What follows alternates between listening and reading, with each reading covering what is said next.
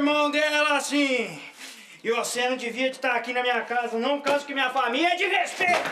Você não devia estar sozinho aqui, não, rapaz. Eu, eu só aceitei um café. Ele é moço respeitoso, que se Respeitoso nada, Mirna.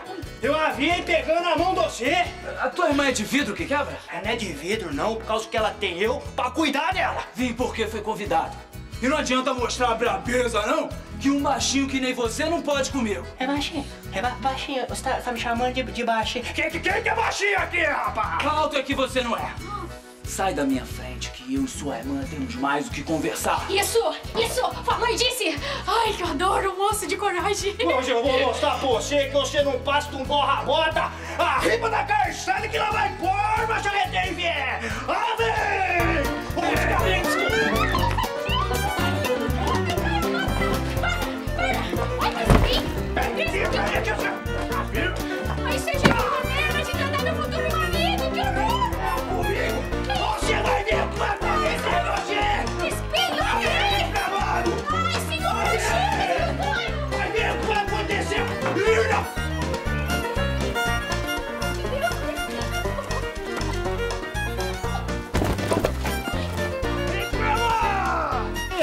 Tio Nardo! Para com isso! Vai lá, Mirna! Crispim, para com isso! Ai, tio Nardo!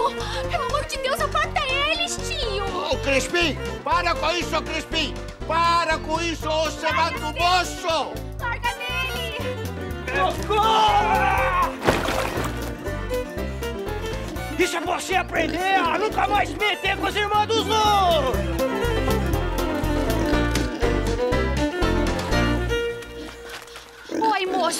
Você não se preocupa, não. É, é que meu irmão é só um tiquinho, assim, brabo. Mas quando você mostrar ele as intenções de casamento, ele há de mostrar que tem um bom gênio. Eu quero distância de você, moça. Se só pegando na tua mão já vim parar no chiqueiro, imagina o resto.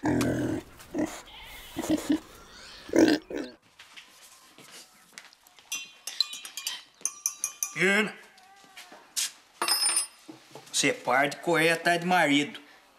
Todos eles há de ter o mesmo tratamento.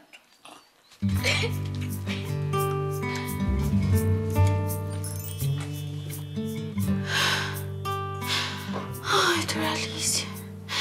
Era tão bem apessoado, charreteiro. Com o irmão Boff, feito Crispim. Explica. Calma, Doralice, deixa de ser ciumenta. É que eu vou arrumar o marido? Dessa maneira. Vem. Dalila, Raul, não me chame assim pelo nome. A dona Filó pode perceber alguma coisa. ela nem está prestando atenção. O que o senhor acha dessas, cavalheiro? São do seu gosto? São lindas, mas não se comparam com você.